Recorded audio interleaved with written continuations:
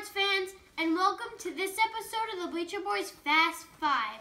I'm David Casti, and with me are Jonas and Aiden Goldschneider. Today we are here with two-time Super Bowl winner and former New York Giant, Chris Snee. Chris spent 10 seasons with the New York Giants. Chris, thanks so much for being here with us today. Thanks for having me, guys.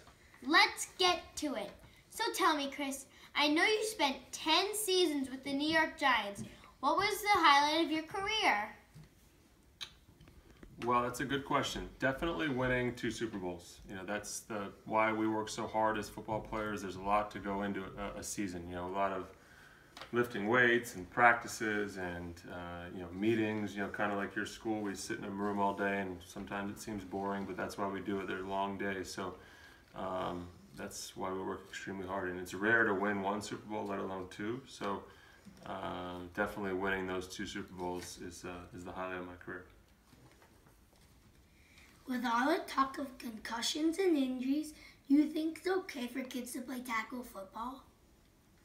Another great question. Um, I have three boys. I have a little girl, but um, we waited until a certain age for my boys to play football. But to answer your question, I am okay with it. I think the big thing is if they're th- taught to play the right way.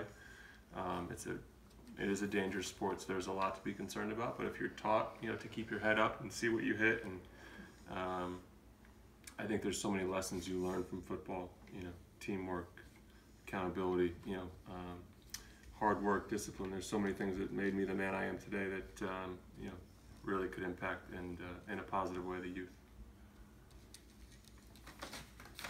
Who do you think is the most exciting player in the game today? Okay, I'm going to answer this, and not because I played for the Giants, but because I'm telling you the truth. It's it's Odell Beckham. Um, you know, exciting to me. He, he can touch the ball and score at any time. You know, he, he loves the game. He plays with a lot of energy, right? He's got the cool hair, um, but he can, he, he touches the ball and he can score at any time. So for me, that's exciting. I'm sure you guys, based on your reaction, kind of share the same view as me. We know you have won two Super Bowls, both against the Patriots. Which one was more exciting, your first win or winning toward the end of your career? Oh, it's hard to choose. You know, it's hard to choose. The first one was special because the Patriots were undefeated, right? And everyone said that we couldn't beat them.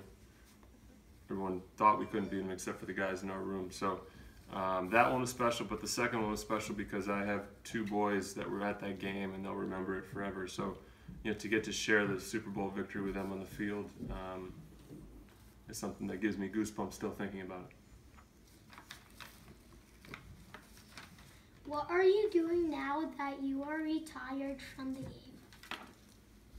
I am currently a stay-at-home dad, so I make sandwiches, I pack their lunches, I help them with their homework, I drop them off at school, and uh, you know, I coach them in their football, basketball, and baseball. So uh, really, they're at an age where they, you know, they want me around, and I'm able to do it. So it's those are years that I can't get back. So I'm going to do this as long as I can, but. Uh, I will get back into football at some point, and uh, I'm not sure for what team or and doing what, but I will get back into, involved with the game somehow.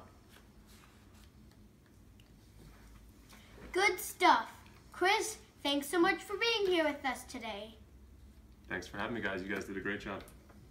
Stay tuned for the next episode of the Bleacher Boys Fast Five. I'm David Casti. The clock has run down. Bleacher Boys out! All right, nice work, boys. Nice work.